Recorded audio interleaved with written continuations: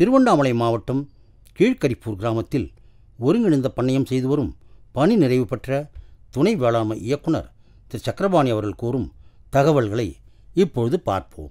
நான் வந்து பிஎஸ்ஐஜி அக்ரி படித்து வேளாண் துறையில் வேளாண்மை அலுவலர் பணியில் சேர்ந்து துணை வேளாண்மை இயக்குனராக பணி நிறைவு பெற்று இப்போ மறுபடியும் இந்த சொந்த இடத்துலையே வந்து தங்கியிருக்குங்க.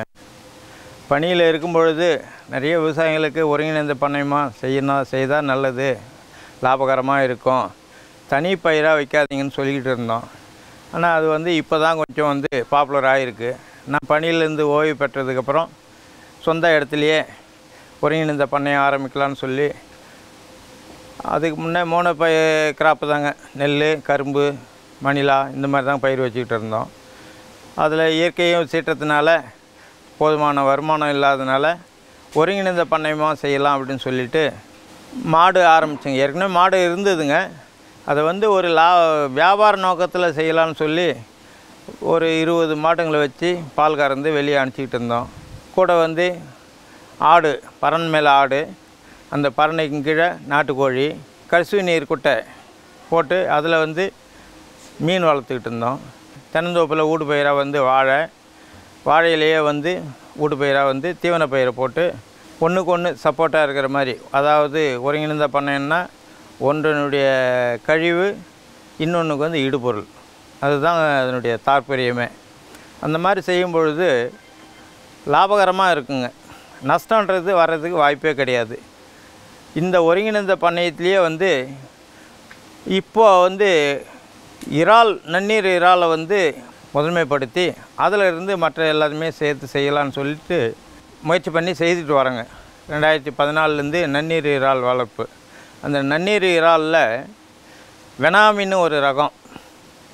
இந்த ரகம் வந்து சாதா தண்ணியிலையும் வளரும். உப் நல்ல உப்பு தண்ணி ஐம்பது பிபிடி இருக்கிற உப்பு தண்ணியிலையும் வளரக்கூடிய ஒரு ரகங்க அது. நம்ம இந்தியாவுக்கு ரெண்டாயிரத்தி பத்தில் தான் இது இன்ட்ரடியூஸ் ஆச்சு. இந்த ரகம் வந்து விவசாயிங்களுக்கு ஒரு பெரிய வரப்பிரசாதம். இது நல்ல தண்ணியிலே நல்லா வரும். நல்ல தண்ணியில் வளர்க்கும் பொழுது இந்த இறால் வளர்த்ததுக்கப்புறம் அதே தண்ணியை வந்து மீன் வளர்க்குறதுக்கு மீன் வள ஒரு குட்டையில் விட்டு மீனை வளர்த்துக்கலாங்க. மீனுக்கு எந்த தீனியும் ஆகாரமும் தேவையில்லை. அந்த தண்ணியை மறுபடியும் வந்து விவசாயத்துக்கு பயன்படுத்தலாம். அப்படி பயன்படுத்தும் பொழுது நாம் எந்த விதமான இடுபொருளையும் போட வேண்டிய அதாவது உரம் ரசாயன உரத்தை போட வேண்டியதில்லை. இந்த கழிவு நீரையே வந்து விவசாயத்துக்கு பயன்படுத்தும் பொழுது எந்த விதமான உரமும் பூச்சி மருந்தும் இல்லாமல் பயிர் விளையுங்க.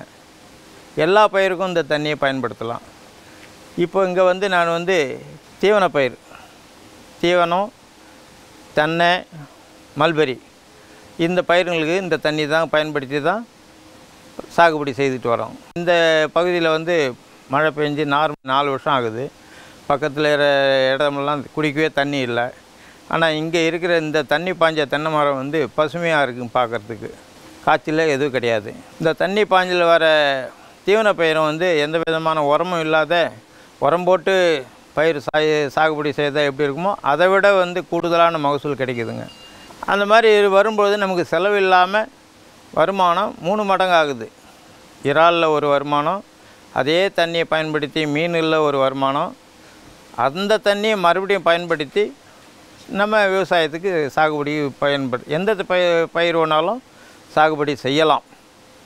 ஆக இப்போ தண்ணி இருக்கிற பிரச்சனை இல்லை. ஒரே த இந்த கிணத்துல இருந்து எடுக்கிற தண்ணியை மூணு தடவை பயன்படுத்துகிறோம் அப்போ நமக்கு மூணு மடங்கு மகசூல் வந்து கூடுதலாக கிடைக்கும்.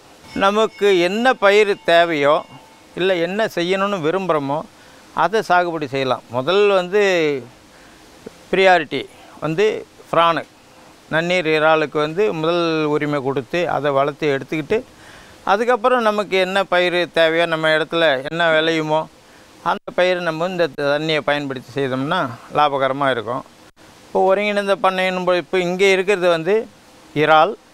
இறால்லேருந்து மீன். மீன்லேருந்து வந்து தீவன பயிர் கொண்டு போகிறோங்க அந்த தீவனத்துலேருந்து பசுமாடுங்களுக்கு தீவனமாக வருது. ஆட்டுக்கு வந்து பரன் மேலே ஆடு இருக்குது அந்த ஆட்டுக்கும் வந்து தீவனம் வந்து இந்த தண்ணி மூலயமா விளைஞ்ச தீவன பயிர் தான் தீவனமாக கொடுத்துட்டு வருது. தீவன உற்பத்திக்கு எந்த விதமான செலவும் கிடையாது. இயற்கையாக மானாவாரியாக வர மாதிரி வருது. இயற்கையாக வருது. அதே அதை சாப்பிடும்பொழுது அந்த கால்நடைங்க வந்து இழைப்பு இல்லாமல் அதுக்கு அதிகமான செலவும் கிடையாது. இப்போ நான் வச்சுருக்கிற மாட்டுங்களுக்கு இந்த தற்சமயம் இருக்கிற மாட்டுங்களுக்கு வெளியே இந்த வாங்கி போடுற தீவனம் எதுவும் கிடையாது. இங்கே பில்லு இருக்கிற பில்லு தான். காலையில் கொண்டு போய் நிலத்துல வெளில கட்டிடுவோம். சாயந்தரம் வந்து பில்லு அறுத்துக்கிட்டு வந்து அதை இரவு தீனி கொடுக்க வேண்டியது பில்லை போட்டுடுவோம். இதுக்கே வந்து அஞ்சு லிட்டர் ஆறு லிட்டர் பால் கறக்குதுங்க. இப்போ இந்த இங்கே என்கிட்ட இப்போ தச்சமே இருக்கிற அதிகப்படியான மாடுங்க வந்து நாட்டு மாடு. நாட்டு மாடுனா வடநாட்டு நாட்டு மாடுங்க. கிர் ரகம் தான் இப்போ எங்கிட்ட இருக்குது இதை ஏட்டு மில்காக கொடுக்கலான்னு சொல்லிட்டு இயற்கை விவசாய சங்கம்னு வேட்டவளத்தில் ஆரம்பிச்சிருக்கோம். அந்த சங்கத்து மூலயமா சென்னைக்கு பால் எடுத்து கொடுத்து விற்பனை செய்யலாம் அப்படின்னு சொல்லி ஆரம்பித்தோம் அது ஒரு சில இடைஞ்சல்கள்னால் தற்சமயம் நிறுத்தி வச்சுருக்கு. அந்த இடைஞ்சல்லாம் கலைய பார்த்து கலைஞ்சதுக்கப்புறம் சங்கத்து மூலயமா நாங்கள் பால் அனுப்புறதுக்கு தயாராக தயார் பண்ணிக்கிட்டு வரோம். இங்கே என்னை சார்ந்து எங்கள் சங்கத்தில் வந்து ஒரு இரநூறு உறுப்பினர்கள் இருக்காங்க. இந்த உறுப்பினர்களுக்கு நான் எப்படி விவசாயத்தை செய்யணும்? இயற்கை முறையில் எப்படி செய்தால் நல்லாயிருக்கும் இந்த மாதிரி ஒருங்கிணைந்த முறையில் செய்தோம்னா நல்லா இருக்குன்னு சொல்லிட்டு ஒவ்வொரு மாதமும் முதல் ஞாயிற்றுக்கிழமை மீட்டிங் நடத்துகிறோம் அந்த மீட்டிங்கில் யாருக்கு எந்த சந்தேகம் இருந்தாலும் கேட்டு தகவல் அதாவது அவங்களுடைய சந்தேகங்களை நிவர்த்தி பண்ணிகிட்டு இருக்கோம். இப்போ இந்த மாடல் ஃபார்ம் வந்து நான் வந்து என்னுடைய பணி நிறைவுக்கு அப்புறம் பொதுவாக எப்படி அமைச்சா எப்படி நான் இருக்கும் அப்படின்னு ஒரு மாடல் ஃபார்ம் மாதிரி இதை போட்டு சொல்லி அது இருக்கேன் சுற்று வட்டாரத்தில் இருக்கிற விவசாயிகளுக்கும் எல்லாருக்கும் சொல்லியிருக்கேன். தினம் ஒரு ஒருத்தர் ரெண்டு பேர் மினிமம் ஒரு நாளைக்கு வந்து இங்கே பா பார்த்துட்டு சந்தேகங்களை கேட்பாங்க. அவங்களுக்கு இப்படி செய்தால் லாபகரமாக இருக்குன்னு தகவல் சொல்லிக்கிட்டு இருக்குங்க. நன்னீர் இறால் வளர்ப்பு குறுகிய காலத்தில் நல்ல லாபம் தரும். ஒரு தொழிலாக உருவெடுத்து வருவதால் பல உழவர்கள் இதில் ஈடுபட்டு வருகின்றனர். புதியதாக இறால் வளர்க்க விரும்பும் உழவர்கள் இந்த தொழிலை துவங்கும் முன்னர் இறால் வளர்ப்பு குறித்த அனைத்து தொழில்நுட்பங்களையும் நன்கு தெரிந்து கொள்வது மிகவும் அவசியம். இது திருவண்ணாமலை மாவட்டம் கீழ்கரிப்பூர் கிராமத்தில் நன்னீர் இறால் வளர்ப்பில் ஈடுபட்டிருக்கும் இளைஞர் திரு ஐயப்பன் அவர்களின் கருத்து. இன்றைய நிகழ்ச்சியில் நன்னீர் இறால் வளர்ப்பில் கவனிக்க வேண்டிய முக்கிய காரணிகள் பற்றி கூறுகிறார் பாருங்கள். இப்போ வந்து இறா நன்னீர் இறால் வளர்ப்பை பற்றி பேச போகிறோங்க நன்னீர் இறால் வளர்ப்பை பற்றி பேசணுன்னா மு- இதுக்கு முக்கியமானது வந்து இடத்தேர்வுங்க. எந்த மாதிரி இடத்துல செய்யணும் அப்படின்றது இடத்த பார்த்துக்கணும். இது இறால் வந்து வளர்க்குறதுக்கு வந்து நாலு காரணிகள் முக்கியமான காரணிகளாக இருக்குங்க. அது பார்க்க போனீங்கன்னா பி பிஹெச்னு சொல்கிறது கார அமிலத்தன்மை. அது வந்து ஒரு ஏழரைலேருந்து எட்டரைக்குள்ளே இருக்கணுங்க. அடுத்தது அடுத்தது பார்க்க போனீங்கன்னா அல்கலினிட்டி சொல்கிற காரத்தன்மை. அது வந்து ஒரு ஐம்பதுலேருந்து நூற்றம்பதுக்குள்ளே இருக்கணுங்க. மூணாவதாக பார்க்க போனீங்கன்னா டோட்டலாக இருக்கிறவுடைய ஹார்ட்னஸ்ன்னு சொல்லுவோம் கடினத்தன்மை. அது வந்து நம்ம நல்ல தண்ணிக்கு ஒரு தொள்ளாயிரம் எழுநூற்றம்பதுலேருந்து தொ ஆயிரத்துக்குள்ளே இருக்கலாங்க. இந்த மூணு காரணிகள் வந்து எது கூடுதலாக இருந்தாலும் குறைவாக இருந்தாலும் அதுக்கு தகுந்த மாதிரி நம்ம வந்து மாற்றி அமைச்சிக்கலாங்க. இது வந்து இடத்த இடத்தேர்வு இடத்த தேர்வு. அடுத்தது நம்ம தண்ணியோட தன்மைங்க. தண்ணியோட தன்மையை எடுத்துகிட்டு போயிட்டு இந்த மாதிரி இறால் பொ பொறிப்பகத்தில் இருக்கிற டே லேப் இருக்குங்க. அங்கே கொடுத்தீங்கன்னா கரெக்டாக அதுக்கு என்னென்ன தேவையோ அதுக்கு தகுந்த மாதிரி அது நம்ம என்ன ஆட் பண்ணணும் என்ன குறைக்கணுன்றத அவங்க சொல்லிவிடுவாங்க அதுக்கேற்ற மாதிரி நம்ம பார்த்துக்கிட்டோன்னா இந்த இது இது தண்ணியை பார்த்துக்கிட்டோன்னா அதை வந்து தண்ணியை இது பண்ணிடணும். அடுத்தது நம்ம குஞ்சு விடுறதுக்கு முன்னாடி இறால் குஞ்சுகளை இறா குஞ்சு பொறிப்பகத்துலேருந்து வாங்கிட்டு வரதுக்கு விடுறதுக்கு முன்னாடி இந்த பாண்ட் ப்ரிப்பரேஷன் இருக்குங்க. குள நீர் அமைப்பு அதை விட்டுட்டதுக்கப்புறம் அதில் வளரக்கூடிய பாசை பாசை அளவுங்க அந்த இதெல்லாம் அந்த ப்ளூம்ஸுன்னு சொல்லுவோம். ப்ளூம்ஸ்னால் வேறு ஒன்றும் இல்லைங்க. அந்த குஞ்சுங்க வந்து ஆரம்பத்தில் வந்து நம்ம போடுற தீனியை சாப்பிடாது. இயற்கையாக இருக்கிற தீனியை தான் விரும்பி சாப்பிடும். அந்த இயற்கையாக கிடைக்கக்கூடிய தீனி என்னென்னா ரெண்டு வகையாக பிரிக்கலாங்க. தாவர உ- பாசி விலங்கின பாசின்னு ஜூ பிளான்டன் பைட்டோ பிளான்டன் சொல்லுவாங்க. அந்த பைட்டோ பிளான்டன் வந்து நார்மலாக நீங்கள் தண்ணியை விட்டிங்கனாவே வளர ஆரம்பிச்சிடும் அதனுடைய வளர்ச்சி அ- அறிவு அபரீதமாக இருக்கணும் அதிகமாக இருக்கணும்.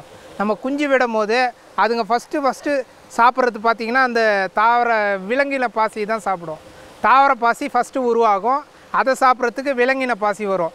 விலங்கின சாப்பிட விலங்கின பாசியை வந்து நம்ம விடுற குஞ்சுங்க எறா குஞ்சுங்க முத முதல்ல சாப்பிட்றது இது பண்ணும். அதுக்காக நம்ம அந்த குளத்தை வந்து ப்ரிப்பேர் பண்ணணும். அதுக்கு ஒரு ஜூஸுன்னு சொல்லுவாங்க இந்த நம்ம இறால் வளர்ப்பு இதில்.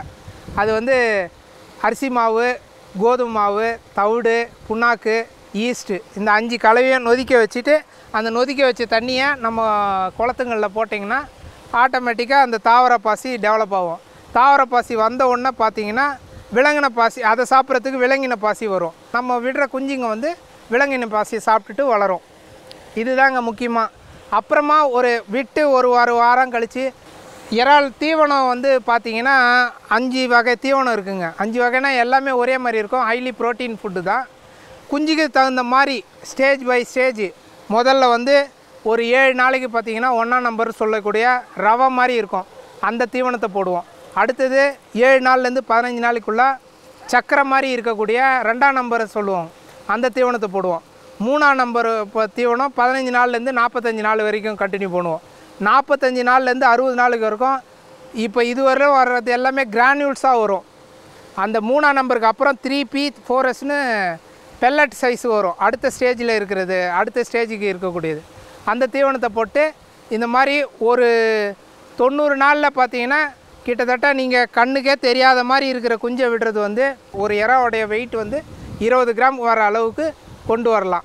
இடத்தேர்வுன்னு சொன்னல அந்த இடத்தேர்வில் தண்ணி நிற்கலை உங்கள் பாண்டு தண்ணி இருக்க முடியாது அது மாதிரி இருக்கிறதுக்கு இந்த மாதிரி லைனர் பாண்டுன்னு சொல்லிடு தார்பாய் போட்டு ஃபுல்லாக தார்பாய் வச்சு போட்டுட்டு தொட்டி மாதிரியே சிமெண்ட் தொட்டியில் வளர்க்குற மாதிரி தார்பாயில் போட்டுட்டிங்கன்னா இந்த தண்ணி கசிப்பு கசிவு தன்மை குறைஞ்சிரும். நீங்கள் மெயின்டைன் பண்ணிவிட்டு இறால் வளர்க்க ஆரம்பிக்கலாம். இந்த தீவனங்களை கொடுத்துட்டு நம்ம ஒரு தொண்ணூறு நாளில் பார்க்க போனீங்கன்னா கிட்டத்தட்ட ஒரு ஏக்கரால் வந்து ஒரு நாலு லட்சத்துலேருந்து அஞ்சு லட்சம் லாபம் கிடைக்கக்கூடிய வாய்ப்புகள் நம்மளுக்கு இருக்குங்க. அதனால் இதை வந்து எல்லாருமே செய்யலாங்க.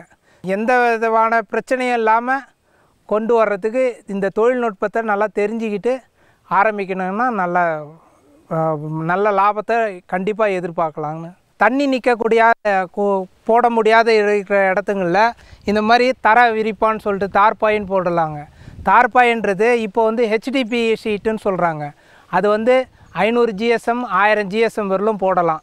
அது வந்து ஒரு சதுர மீட்டர் பார்த்திங்கன்னா ஐநூறு ஜிஎஸ்எம் வந்து நூற்றி ஐம்பது ரூபாயும் ஆயிரம் ஜிஎஸ்எம்ன்றது இரநூத்தி ஐம்பது ரூபாய் சொல்கிறாங்க ஒரு சதுர மீட்ரு அதை போட்டுட்டிங்கன்னா இந்த தண்ணி நிற்க தண்ணி இல்லை இல்லாத இடங்களில் கூட இதை கண்டிப்பாக இந்த மாதிரி வரலாம். இன் நான் வந்து இந்த தொழில்நுட்பத்தை எல்லாமே படிச்சுக்கிட்டு இயற்கை முறையிலேயே கொண்டுட்டு வரேங்க. இயற்கை முறையிலேயும் பார்க்க போனீங்கன்னா ஃபஸ்ட்டு ஃபஸ்ட்டு இந்த ப்ளூம்ஸ் செட் பண்ணுறதுக்கு வந்து நான் வந்து ஜீவாமிர்தத்தை யூஸ் பண்ணுறேன் அது வந்து கரெக்டாக அந்த தே அதுக்கு தேவையான அந்த தாவர பாசியை வந்து வளர்த்து விடுங்க. ஜீவாமிரதம். அந்த ஜீவாமிரதம் அதுக்கப்புறம் அந்த தா அந்த தண்ணியோடைய இது வந்து தன்மை வந்து நம்ம நார்மலாக வளர்க்கக்கூடிய மாதிரி இருக்குது வேறு எந்த விதமான கெமிக்கல்ஸ் மினரல்ஸும் போடல. இந்த ர- இறால் பார்த்திங்கன்னா இது ஒரு விகிதாச்சாரம் இருக்குங்க. இது வந்து ஒரு கடல்வாழ் உயிரினன்றதுனால அதுக்கு தேவையான மினரல்ஸ் இருக்குது அந்த மினரல்ஸ் வந்து உப்பு தண்ணி உப்பு தண்ணின்னா அது ஆட்டோமேட்டிக்காக அந்த தண்ணியில் இருக்கும் உப்பு. அதுக்கு தேவையான மினரல்ஸு அந்த தண்ணியிலே இருக்கும். நம்ம நல்ல தண்ணியில் வளர்க்குறதுனால அதுக்கு தேவையான மினரல்ஸை வந்து நம்ம கொடுக்க வேண்டியது இருக்குது அந்த மினரல்ஸ் பார்த்திங்கன்னா மூணு இது. கால்சியம் பொட்டாசியம் மெக்னி மெக்னீஷியம் இந்த மூணும் அதுக்கு வந்து முக்கியமான இது. இது அந்த நல்ல தண்ணிக்கு பார்க்க போனீங்கன்னா ஒன்று ஒன்றுக்கு ரெண்டுக்கு one one is to two is to one அதாவது ஒரு பங்கு கால்சியமும் மெக்னீஷியம் ரெண்டு பங்கு. ஒரு பங்கு பொட்டாசியம். இந்த மூணு தத்து இந்த மூணு சத்துக்களையும் நம்ம வந்து வாரம் தவறாத குட்டையில் போட்டு விட்டோம்னா ஆட்டோமேட்டிக்காக அதனுடைய அதுக்கு தேவையான மினரல்ஸ் வந்து அந்த இறால் வந்து எடுத்துக்குங்க. ரெண்டாவது இது வந்து கணுக்காளிகள் வகையை சேர்ந்தது. கணுக்காளிகள் எல்லாருமே பார்த்தீங்கன்னா ஒரு தோல் உரிக்கும் ஒவ்வொரு இதுலேயும். இதுவும் அது மாதிரி தோல் உரிக்குங்க. அது தோல் உரிக்க உரிக்க அடுத்த ஸ்டேஜுக்கு வளருதுன்னு அர்த்தம். இப்போ நம்ம ஒரு வாரம் தீவனம் போட்டு ஒரு வாரம் தீவனம் போடுறோன்னா அந்த தீவனத்துக்கு உண்டான வளர்ச்சி வாரத்தில் ரெண்டு கிராம் மினிமம் ரெண்டு கிராமாவது இருக்கணும். அதை வந்து நம்ம ரெகுலராக செக் பண்ணி வாட்ச் பண்ணிட்டு வரணும். அதுதான் இது இது இது எல்லாமே வந்து தொழில்நுட்ப சம்மந்தமானது இறால் வளர்க்கணும்னு முடிவு பண்ணிட்டீங்கன்னா அந்த தொழில்நுட்பத்தை நல்லா ஃபஸ்ட்டு ஏ டு இசட் எல்லாம் க்ளீனாக படிச்சுட்டு தெரிஞ்சுக்கினதுக்கு அப்புறம் இதில் இறங்குனா இதில் வந்து நஷ்டம்ன்ற பே இட பேச்சுக்கே இடம் இல்லை கண்டிப்பாக லாபமாக ஒரு தொழிலாக தான் இருக்கும். அதான் இது மாதிரி குறைந்த நாட்களில் வந்து அதிகப்படியான லாபத்தை எடுக்கணும்னா இறால் தொழில் மாதிரி வேறு எந்த தொழிலுமே கிடையாதுங்க. அதனால் இது வந்து எல்லாரும் செய்யக்கூடியது தாங்க. இதனோட ஆட் ஆள் பிரச்சனை எதுவுமே வராது. இந்த இது வந்து ரொம்ப கடினமான வேலைகளுக்கு வந்து குறைவுங்க. ஆனால் கண்காணிப்புன்றது பார்த்திங்கன்னா ஹண்ட்ரட் பர்சன்ட் கண்காணிப்பு இருந்தால் மட்டும்தான் இந்த தொழிலில் வந்து நம்ம லாபகரமாக கொண்டு போக முடியும். இந்த மாதிரி பார்த்துட்டு ஒவ்வொரு முறையை இப்போ எடுக்கும்போதும் ஆரம்பத்தில் மினிமம் ஒரு மூணு மாதத்தில் வந்து கண்டிப்பாக ஒரு ஒரு பயிரையும் முடிச்சிடலாம். இப்போ இதையே வந்து இந்த தார்பாய் இல்லாமல் நீங்கள் வந்து ஆர்டினரி மண்குட்டையில் பண்ணீங்கன்னா ஒரு வருஷத்துக்கு ரெண்டு கல்ச்சர் தான் எடுக்க முடியும். ஆனால் இந்த மாதிரி தார்பாய் மூலயமா பண்ணிங்கன்னா ஒரு வருஷத்துக்கு மூணு கல்ச்சர்லேருந்து நாலு கல்ச்சர் வரலாம் நம்ம ஈஸியாக எடுத்து நல்லபடியான இதில் கொண்டு வந்துடலாம். இந்த மாதிரி அதனால் இதில் வந்து ப்ளஸ் பாயிண்ட்ஸ் நிறைய இந்த தார்பாய் போட்டு பண்ணுறதுனால தண்ணி இல்லாத சமயத்தில் நான் இப்போ இவங்க இங்கே வந்து பார்க்குறதுன்னா என்ன எனக்கு வந்து தண்ணி வந்து குறைவான தண்ணி தான். நாலு வருஷம் மழை கிடையாது. அதனால் தண்ணியே கிடையாதுங்க. அதனால் இருக்கிற கல்ச்சரையே நான் பண்ணிட்டதுக்கு அப்புறம் மறுபடியும் இந்த தண்ணியே மறுசுழற்சி பண்ணி மறுபடியும் எலா இறா வளர்த்துட்ருக்கேன் இது நாலாவது முறை இப்போ நான் இந்த சுழற்சியில் முறையில் செய்கிறேங்க இது மாதிரி இதெல்லாம் நிறைய ப்ராப்ளங்கள் வரும்போது அதை சால்வ் பண்ணக்கூடிய கரெக்டான டெசிஷன் கரெக்டான டைமில் எடுக்கணுங்க. இது மாதிரி எடுத்துக்கிட்டு கண்டிப்பாக இந்த மாதிரி இந்த தொழிலை வந்து நல்லா லாபகரமாக கொண்டு போக பண்ணலாம். வேலூர் மாவட்டம் வேப்பங்குப்பம் பகுதியில் இயற்கை விவசாயம் செய்து வரும் குணசேகரன் அவர்கள் பணி ஓய்வு பெற்ற உதவி விதை அலுவலர். இவர் பணிபுரிந்த காலத்தில் உழவர்கள் செய்யும் ரசாயன வேளாண்மையின் கேடுகளை உணர்ந்து தற்பொழுது இயற்கை முறையில் பயிர்கள் சாகுபடி செய்து வருகிறார். இன்றைய பண்ணை செய்தியில் நாட்டு ரஸ்தாலி ரகத்தை இயற்கை முறையில் சாகுபடி செய்யும் அனுபவங்களை கூறுகிறார். பார்ப்போம். நான் வந்து வேளாண்துறைந்து ஓய் உதவி உதவி அலுவலர்லேருந்து ஓய்வு பெற்றிருக்கிறேன். நான் வந்து இருபது வருஷத்துக்கு முன்னாடி வந்து நான் வயல்வெளியில் கேம்ப் போகும்போது விவசாய நிலத்துக்கெல்லாம் போகும்போது பார்த்திங்கன்னா கத்திரிக்காய் முள்ளு கத்திரிக்காய் வெண்டைக்காய் இதுக்கெல்லாம் பார்த்தீங்கன்னா சைஃபர் மெத்ரின்ற மருந்து வந்து ஊடுருப்பார பூச்சிக்கொல்லி மருந்து மூணு நாளைக்கு முன்னாடி விவசாயம் அடிச்சிட்டு இருந்தாங்க. அதெல்லாம் பார்த்தோன்னே எனக்கு ரொம்ப மனசு ரொம்ப வேதனையாயிடுச்சு. அதனால் நான் வந்து என்ன பண்ணால் ஜனங்களுக்கு வந்து இந்த மாதிரி பூச்சி மருந்து அடிக்காதீங்க. இதனால் வந்து கிட்னி பாதிக்குது ஹார்ட் பாதிக்குது. ஒரு தவறும் செய்யாத நுகர்வோர் வந்து வாங்கி அதை காய்கறிலாம் சாப்பிட்றவங்க வந்து பாதிக்கிறாங்க. இதனால் நீங்கள் செய்யக்கூடாதுன்னு விவசாயிகளுக்கு சொல்லிட்டு அதுலேருந்து நம்ம ஏன் நம்ம வந்து கொஞ்ச நாள் மாற்றணும்னு சொல்லி நமக்கு ப்ராக்டிக்கலாக அனுபவம்னு சொல்லி நான் ஒரு லேண்டை சொந்தமாக வாங்கி அதுலேருந்து நான் வந்து விவசாயம் பண்ணிகிட்டு இருக்கிறேன். இருபது வருஷமாக நான் வந்து இயற்கை விவசாயம் பண்ணிட்டுருக்கிறேன் முதல் முதல் நான் வந்து மிளகாய் பயிர் செஞ்சேன். அதுக்கடுத்து வந்து தக்காளி வந்து தொடர்ந்து ஒரு பத்து வருஷம் விதைப்பன மாதிரி போட்டு தக்காளி பயிர் பண்ணிகிட்டு இருந்தேன். அதுக்கப்புறம் வந்து நெல் நெல்லில் வந்து மாப்பிள்ளை சம்பா காட்டு யானம் காளான் நமக்கு காட்டு பொன்னி என்ற நாலு ரகங்கள். எங்கள் வீட்டு தேவைக்கு தான் மார்க்கெட்டிங் பண்ணுற அளவுக்கு இல்லை. எங்கள் வீட்டு தேவைக்கும் செஞ்சுட்டு இருந்தேன். அதுக்கடுத்து வந்து கற்பூரவள்ளி. கற்பூரவள்ளி என்ற வாழை ரகத்தை பயிர் பண்ணேன். அது நல்லா உயரமாக வளர்ந்துச்சு. ஆனால் காற்றுல வந்து அட்டாக்காய் ஒரே ஒரு அஞ்சு நிமிஷத்துல வந்து மொத்தமே டேமேஜ் ஆகிடுச்சு ஆனாலும் ஸோ இனி வந்து இந்த கற்பூரவள்ளி நமக்கு வேணாம்னு சொல்லிட்டு இந்த நாட்டு ரகம் ரசாலிக்கு தேர்வு பண்ணேன் நான். இந்த நாட்டு ரகம் ரசாலி வந்து காற்றுல வந்து டேமேஜ் ஆகிறதில்ல.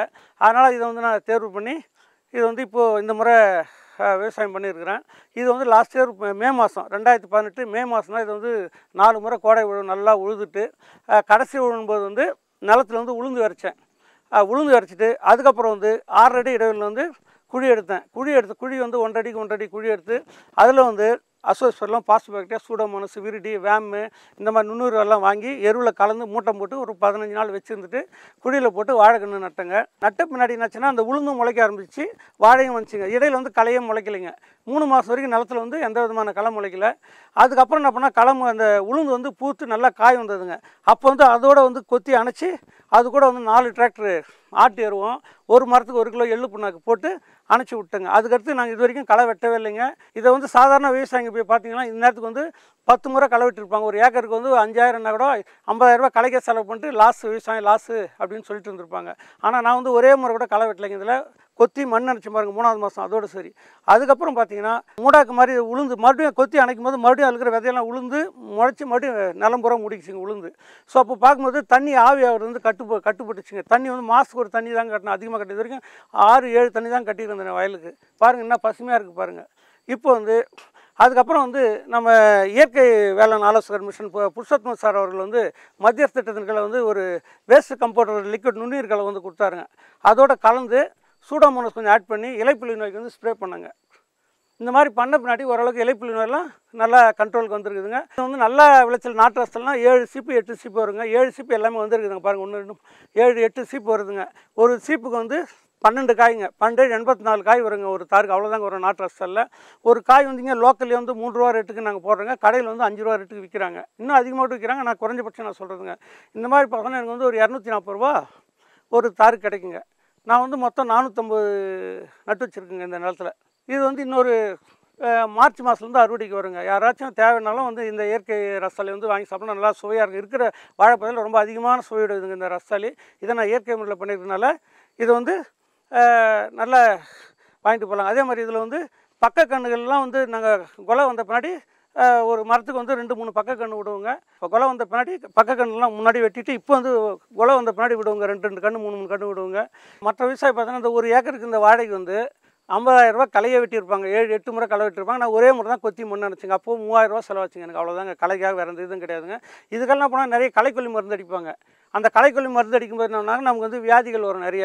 அந்த மாதிரிலாம் வந்து களைக்கொல்லி அடிக்கணும் நமக்கு உடம்பு பாதிக்குது மண் பாதிக்குது. ஒன்றுமே இல்லை நுகர்வோர் வந்து சாப்பிட்ற நுகர்வோர் வந்து பாதிக்கிறாங்க. அதனால் வந்து களையெல்லாம் அடிக்காமல் இது வந்து இயற்கை முறையில் வந்து நம்ம கலையை கண்ட்ரோல் பண்ணோம்னா நமக்கு நல்ல தரமான நல்ல பொருள் கிடைக்கும். நம்ம சாப்பிட்றவங்களும் நல்ல ஆரோக்கியமாக இருப்பாங்க. அப்படின்ற விதத்தில் தாங்க இந்த மாதிரி செஞ்சுருக்கிறோம். இதை வந்து நாங்கள் இப்போ வந்து தார் வந்து இப்போ பாதி காய் ஏறணும்னா நாங்கள் ரெண்டு மூணு இது ச- பக்க கண்ணு விட்டுருவோங்க. இதில் வர வாழையில் வந்து ஒரு இலை வந்து ரெண்டு ரூபா ரேட்டு இங்கேயே வந்து நிலத்துல வந்து வாங்கிட்டு போயிடுறாங்க. இது வந்து எங்களுக்கு வந்து இதே வந்து இந்த தஞ்சாவூர்ஸ்லாம் சொல்கிறாங்க ஒரு வா- வாழை காயை விட இந்த இலையில தான் எங்களுக்கு அதிகமாக இன்கம் வருது. மருதாம் விட்டணும் ஒரு மரத்துக்கு வந்து இரநூறுவா வரைக்கும் எங்களுக்கு கிடைக்குதுன்னு சொல்கிறாங்க இந்த முறை நான் ட்ரையல் பார்க்க போகிறேங்க எவ்வளோ வருதுன்ட்டு இந்த மாதிரி தான் விட போகிறேன் வாழை வந்து எனக்கு வந்து ஏழுலேருந்து எட்டு சீப் வரைக்கும் வந்திருக்குதுங்க. இந்த எட்டு சீப் வந்த பின்னாடி ஒரு ரெண்டு சீப் தள்ளி வந்த பின்னாடி அதுக்கப்புறம் தாங்க பூ உடைப்போம். அந்த பூ வந்து உழவு உழவர் சந்தைக்கு வர விவசாயிங்க வந்து இங்கேருந்து போகிறவங்க வந்து வெள்ளூருக்கு எடுத்து மட்டும் விற்கிறாங்க ரெண்டு ரூபா ரேட்டுக்கு இருந்து வாங்கிட்டு போய் அங்கே விற்கிறாங்க அஞ்சு ரூபா ரேட்டுக்கு விற்கிறாங்க அது ஒரு அடிஷ்னல் வருமானமாக இருக்குது. அதுக்கடுத்து பார்த்திங்கன்னா எங்களுக்கு வந்து பூ விட்டு வந்த மூணாவது மாதம் எங்களுக்கு வந்து தார் வந்து அறுவடைக்கு வந்துடுங்க அந்த அறுவடைக்கு வரும்போது நாங்கள் என்ன பண்ணோம்னா பக்கத்தில் வந்து ரெண்டு கன்று வளர விட்டுருவோங்க. அது அடுத்த இதுக்கு வர்றதுக்கு அதில் வந்து நம்ம ஒரு கன்று நல்லா வீரியமாக ஈட்டி போல் இருக்கிற மாதிரி ஒரு கன்று மொத்தம் விட்டுடுவோங்க. அது வந்து அடுத்த மருதாமுக்காக விட்டுருவோம். ஆனால் நாட்டு ரசத்தில் யாரும் இங்கே வந்து மருதாம் விடுறது கிடையாது. நம்ம இயற்கை முறையில் பண்ணுறதுனால மண்ணும் நல்லா வளமாக இருக்கிறதுனால எங்களுக்கு மூணு முறை வரைக்கும் இப்போ ஏற்கனவே ஒரு முறை விவசாயம் பண்ணுவோம் மூணு முறை வரைக்கும் நாங்கள் மருதாம் விட்டும். எங்களுக்கு நல்லா விளைச்சல் வந்துருக்குது.